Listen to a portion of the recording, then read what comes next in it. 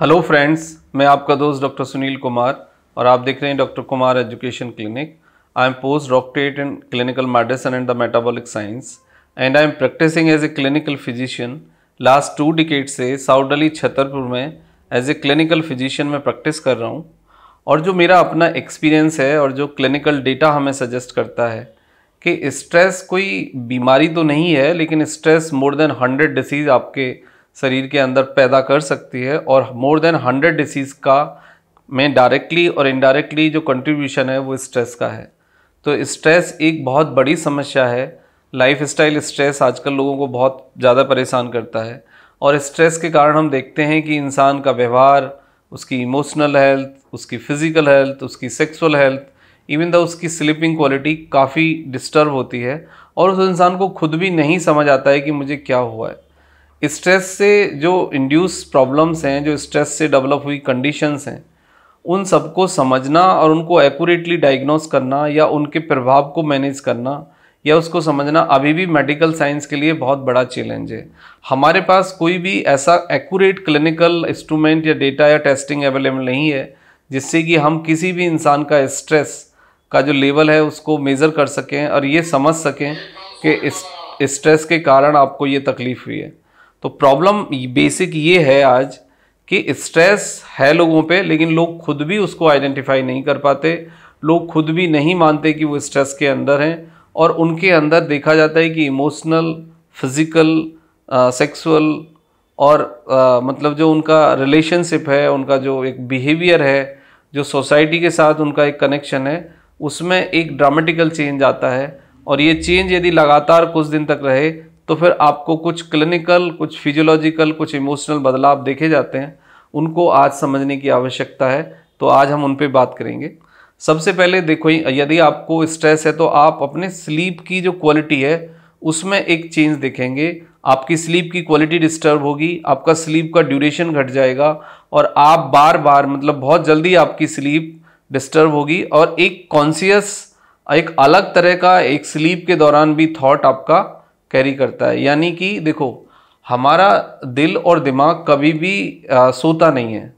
Rest करने का जो इनका तरीका है दिल दिमाग का वो थोड़ा सा अलग होता है। तो इसका कहने का मतलब ये है कि जब हम सो जाते हैं तब भी हमारा दिल और दिमाग काम करने करता रहता है। लेकिन स्ट्रेस के दौरान एक चीज़ देखी गई है कि दिल और दिमाग बहुत ज़्यादा तेज़ी से काम करता है और उसका जो फ्रीक्वेंसी है जो उसका स्पीड है वो बढ़ जाती है। यानी कि हम नींद के दौरान भी किसी ना किसी थॉट के साथ कॉन्सियसली डील करते रहते हैं और सोने के बाद भी हमें बहुत ज़्यादा फ्रेशनेस महसूस नहीं होता। आपने देखा होगा कि यदि कोई ट्रॉमा है, कोई इमोशनल स्ट्रेस है, या कोई आप डिप्रेशन कैरी कर रहे हैं, या आपको कोई लॉस हो गया है, या किसी तरह की कोई ऐसी मिस हुई है तो उसके बाद आप नींद तो लेते हैं, लेकिन फ्रेश महसूस नहीं करते। यानी डेली आप जाते हैं, सोते हैं, उतने घंटे ही सोते हैं, लेकिन एक दिन आप बहुत अच्छे से फ्रेश होते हैं पॉजिटिव होते हैं एनर्जेटिक होते हैं, लेकिन एक दूसरे दिन ये सब नहीं होता।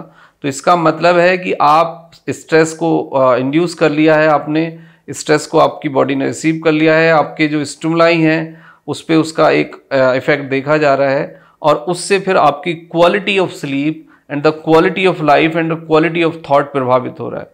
उसके बाद आता है एनजाइटी एनजाइटी आता है कि हमारे फियर वाले थॉट बढ़ गए हैं हम बहुत ज़्यादा मल्टीपल थॉट्स के साथ हैं, हमारे अंदर फोबिया बढ़ गया है और हमारे साथ कुछ मिसहैपनिंग ना हो जाए, ये एक डर बढ़ गया है। या फिर हमें एक गिल्ट ये फियर रहता है कि हमने कुछ गलत तो नहीं कर दिया है, हमसे कुछ गलत तो नहीं हो गया या हमसे कुछ गलत तो नहीं हो जाएगा। इस तरह की कंडीशन नेक्स्ट लेवल पे आपको हेडेक यानी हैवीनेस रहता है, आप फ्रीली महसूस नहीं करते। फंक्शनल वीकनेस देखी जाती है, काम में मन नहीं लगता और यदि आप काम करने भी लग जाते हो तो फिर एनर्जी नहीं होती आपके पास। उसके बाद आता है कि multiple joint pain chronic pain fibromyalgia जैसी कंडीशंस हो जाती है कि पेन आपको रहता है, लेकिन कोई रीज़न नहीं मिलता है। मेस्ट्रल पेन ज़्यादा हो जाता है मेस्ट्रल सिड्रोम डेवलप हो जाता है कि महीने के दौरान आपको ज़्यादा तकलीफ़ होती है, ज़्यादा बॉडी खिंचती है, आपको ज़्यादा बीपी लो हो जाता है और आप बहुत ज़्यादा डिसोरिएंटेड बहुत ज़्यादा पेन में रहते हैं।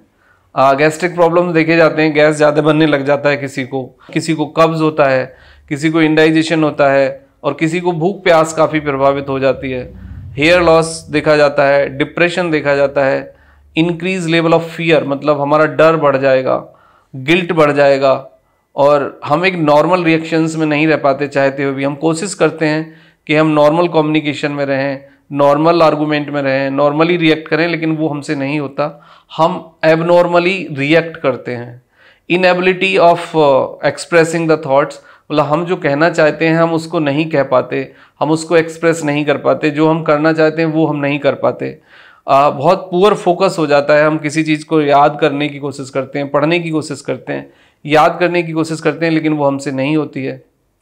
अब बात ये आती है कि ये सारे बदलाव यदि आप देख रहे हैं ये सब कुछ चेंज आपके अंदर आता है तो फिर आज आखिर इसको डील करने का तरीका क्या है? देखो स्ट्रेस को डील करने का सबसे अच्छा तरीका ट्रॉमा से बाहर निकलने का तरीका ये है कि सबसे पहले तो आप अपने से बात करिए। ना ही तो कोई कंप्लीट है, ना ही कोई परफेक्ट है, ना ही कोई खुदा है, ना ही कोई भगवान है। हम सब प्लस माइनस हैं। हमसे अच्छा भी होगा, हमसे बुरा भी होगा। हमसे गलतियाँ भी होंगी और हमसे कुछ अच्छा भी होगा। तो you have to accept yourself as a normal human being आपकी कंडीशंस डिफरेंट हो सकती हैं, आपका एटीट्यूड डिफरेंट हो सकता है। आप आपने बहुत बहुत सोचे सम, बगैर समझे रिएक्ट कर दिया, ऐसा भी हो सकता है।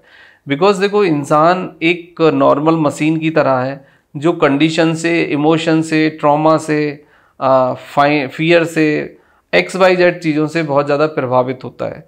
और वो उस प्रभाव के कारण कई बारी हम स्ट्रेस में होते हैं, कई बारी हम अच्छा करते हैं, कई बारी हम बुरा करते हैं। अब मैं दूसरे लेवल पे आता हूँ। स्ट्रेस से बचने का एक बेसिक अच्छा तरीका यही है कि यदि आपका नेचर में या गॉड में बिलीव है तो आप ये मान के अपनी ज़िंदगी जिए कि जिस इंसान ने, जिस नेचर ने आपको पैदा किया है, वो आपको प्रोटेक्ट भी करेगा, वो आपके लिए सारी चीज़ें मुहैया कराएगा। अब दूसरी बात पे मैं आता हूँ। देखो, नेचर ने या गॉड ने हमें बहुत ज़्यादा एक्स बाई जेड या प्रोटेक्शन के साथ नहीं भेजा है। हम सब नेकेड आए हैं इस दुनिया में। हम सब एमटी ब्रेन के साथ आए हैं हम सब विदाउट जात धर्म के आए हैं। रिलीजियन यहाँ इस दुनिया में आके ही हम एक्स वाई जेड होते हैं।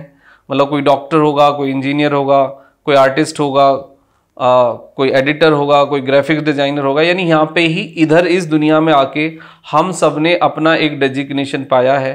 हम सब इधर ही आके हिंदू मुस्लिम सिख ईसाई बने हैं। हम सब इधर आके ही सब कास्ट यानी जातियों में डिवाइड हुए हैं। तो इधर ही सब कुछ हुआ है। नेचर ने, गॉड ने हमें एक खाली दिमाग के साथ यहाँ पे भेजा है और एक इंसान के रूप में हमें यहाँ पे भेजा है। तो सबसे पहले अपनी ईगो से बाहर निकलिए, अपनी गिल्ट से बाहर निकलिए, अपने फियर से बाहर निकलिए, अपने आप को एक नॉर्मल इंसान मानिए। और दूसरी बात यह है कि आप अपने आप को जात, धर्म कलर एक्स वाई जेड चीज़ों से बाहर निकालिए। जब तक आप इनसे बाहर नहीं निकालेंगे, आपका स्ट्रेस नहीं जाएगा।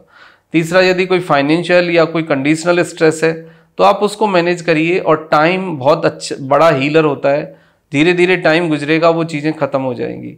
तीसरा है कि आप पॉजिटिव एंगेजमेंट तलाशिए, कुछ नई किताबें पढ़िए, नया कोई कोर्स करिए म्यूज़िक थोड़ा सा सुनिए या म्यूज़िक खुद से गाइए या डांस करिए या फिर कोई आउटडोर गेम खेलिए, नई किताबें पढ़िए और डेली बेसिस एक्सरसाइज करिए। पॉजिटिव रहिए थैंक्सफुल रहिए नेचर के प्रति गॉड के प्रति। तो कुछ दिन के में आप देखेंगे कि आपका सब कुछ बदल गया है। प्लस सबसे बड़ी चीज़ self discipline and the self control आप एक टाइम टेबल से जीवन जीजिए, समय से खाना खाइए, समय से नींद लीजिए, पूरी एक्सरसाइज करिए, अच्छे से काम करिए और लोगों के साथ इन्वॉल्व होने की कोशिश करिए, लोगों से बात करिए। तो आप देखेंगे कि धीरे धीरे आपका स्ट्रेस मैनेज हो गया है। लेकिन फिर भी यदि कोई आपको प्रॉब्लम रहती है तो फिर काउंसलिंग की जा सकती है। और आपके स्ट्रेस के पीछे कोई और अंडरलाइन कॉज यदि जुड़ा हुआ है तो उसको डिस्कस किया जा सकता है, उसको रिजॉल्व करने की कोशिश की जा सकती है with the help of counselling and the discussion and the positive motivation thank you very much and take care yourself